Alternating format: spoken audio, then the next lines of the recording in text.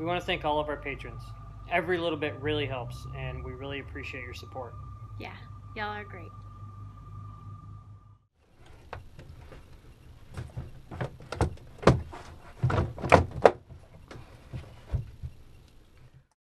Okay, back at the boat. Um, gonna see how much of this I can get wired up today.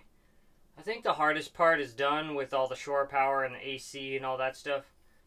Um, in theory, the rest of this should be pretty easy because everything was is already kind of wired up anyway. I just need to adjust the lengths of the cables so that they match the new switch panel position and everything. Uh, I did stop by West Marine and picked up this dual bus from uh, Blue Sea Systems. This is going to go inside this panel. It'll have one of the sides will be a hot and one will be a ground um, for everything that's in here. Uh, so there's not too many wires running all over the place. Um, and then I picked up these very small ring terminals that are supposed to fit wire 22 to 18 AWG. Um, this is for my Raymarine stuff. So, like the for both the NMEA connections and for like the power and stuff to the Raymarine S. I think it's the ST60 Plus. Um, they're very small wires, and I had to go to a specialty um, electronics store here in Los Angeles called Fry's, which is cool. But even that place, like a lot of the uh, spots that used to be full of like random, like obscure electronic stuff is gone. I'm sure it has to do with Amazon. But um, with like Radio Shack and stuff not being around anymore, you're kind of limited to being able to pick this up on the day you need it. So these don't have heat shrink, but I, I have like loose heat shrink tube that I'll be able to put on here to take care of that. So um, we're going to see if this works for us. But today, let's start uh, wiring up the breaker switches for everything that we already have wired up, like the nav lights, the steaming light, the anchor light, um, the autopilot, all that stuff. So um, let's get to it.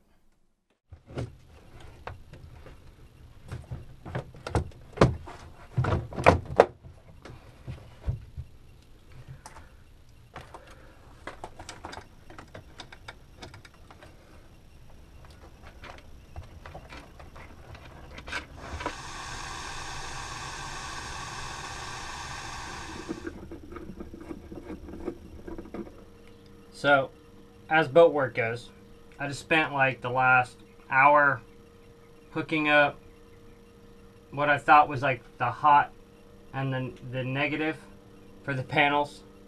And uh, I don't have the printed out instructions, um, which is my own fault. Um, all I've been hooking up are the backlit label lights.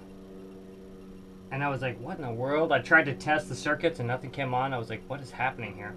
So I looked online. I have almost no service here on my phone.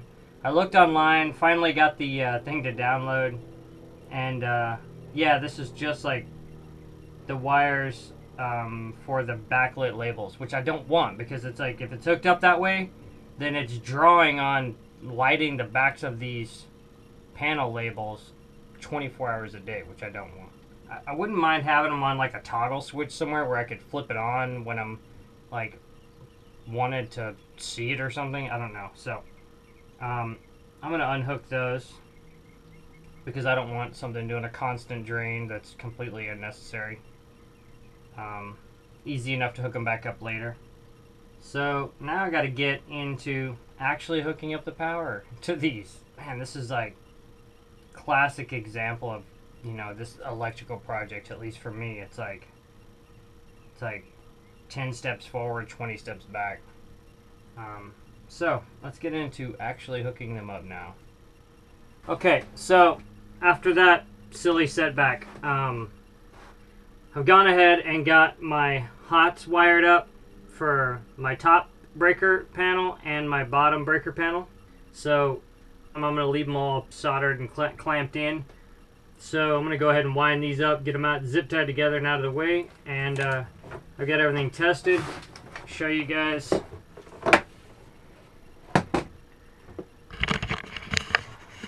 So you can see the lights come on, telling us we got juice to all of them.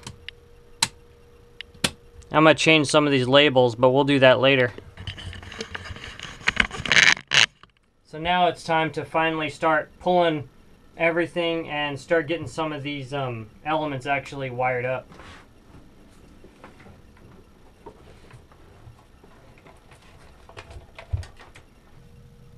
Okay, I'm gonna start sending this. This is the um, navigation light. I'm gonna go ahead and send it through our pipe, our wire feed pipe here. And uh, handwritten on this what it was. I have a lot of extra because of the length where this went before, but I'm gonna just leave all that extra for um and pull it all forward and re because I want to move everything from the head into the uh, V berth so it's easier to, for me to get to. So I'm gonna leave all of my slack forward. We'll get this in here, find a good uh, length, and then start hooking it up.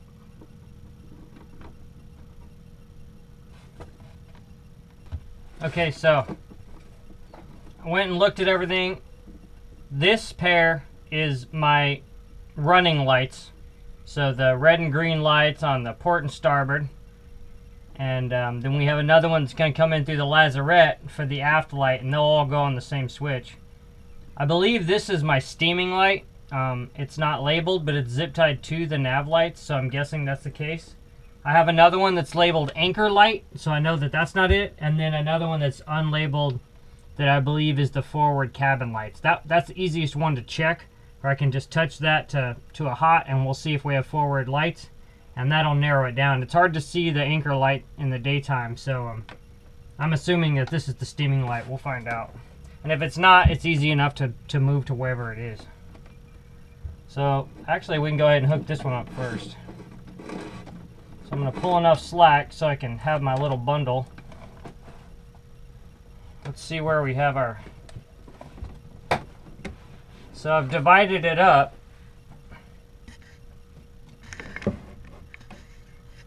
divided it up so that this little three panel is just like my nav light. So there's running lights, steaming light, and anchor light. So the middle one's my steaming light. Let's go ahead and check that out. So this side of the panels is uh, where you have to connect it. So that activates that switch. Gives you juice to that side. The other side is like the hot. When you make the switch, then it gives the hot to that side.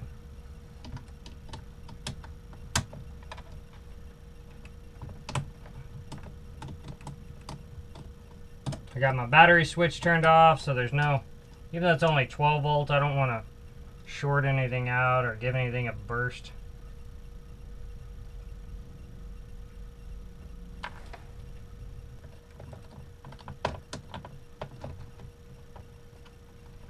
Okay, so our first thing is hooked up. Now, I have this, um, a lot of these, like, like the steaming light and the anchor light, I have its ground hooked up at a common ground bus bar forward so there's not so much spaghetti coming back. Um, that's why I'm only hooking up a single one here. Because it's got its own ground back there, so. Let's go ahead and get these clipped to the length we want them. So.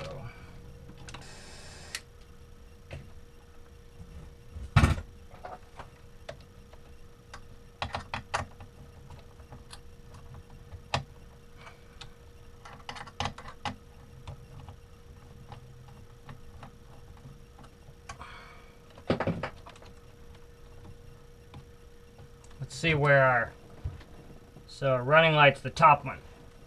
So that's going to be this one.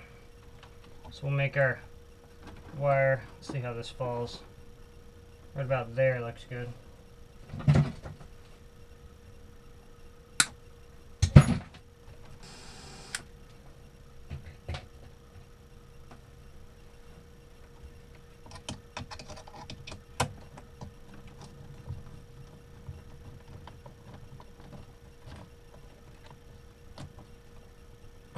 Okay, so that's wired up. We're gonna turn the battery on and uh, flip our running light switch. And we're gonna go see if we have power to that.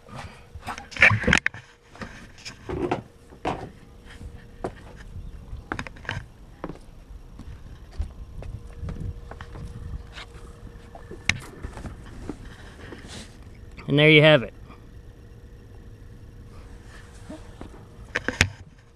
So, the rest of this panel is completely redundant. It's the same thing over and over. It's you run the wire from one element to the panel and then you hook it up and you go on. So I'm going to put the camera away and uh, knock out the wiring on this panel and then I'll bring you guys back on for the uh, the other panel that has the VHF and the the stereo and the Raymarine and all that stuff, which that stuff's more interesting. This is just like redundant wiring of a switch panel. But I showed you the basics for a couple of them so you understand and hopefully it helps somebody out. I'm not wasting all of our time. Um, so I got to get to work and knock this thing out.